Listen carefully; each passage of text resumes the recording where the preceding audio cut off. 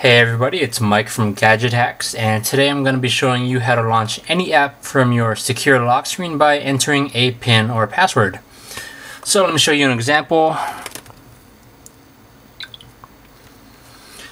so I have my PIN lock screen set up, and I have the PIN 1234 assigned to open up uh, my web browser.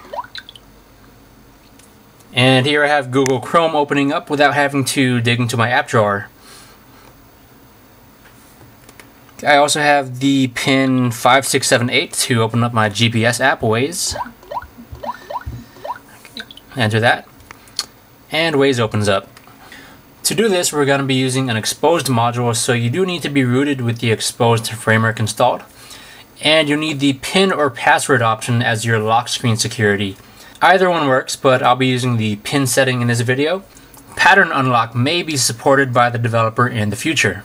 The module is called Pin Shortcuts, which you can find in the download section of the Xposed Installer app. Go ahead and install the latest version and activate it. Once it's fully activated, you can open up the module and it'll ask you for your PIN or password. So my PIN is 5555. Just gonna enter that in. And if you need to change your PIN, just go to settings and then you can type in your new PIN or password right there. So to assign shortcuts to your apps, tap on add shortcut here you'll enter the PIN or password. So I'm going to put just 2222 and then tap on choose app to select which app you want to launch. And just for the sake of demonstration, I'll choose the calculator app. And once you're done making your selection and setting up your PIN, you can just tap the save button. So let's go ahead and test it out. I'll lock my screen and I enter in the pin 2222 and that opens up the calculator.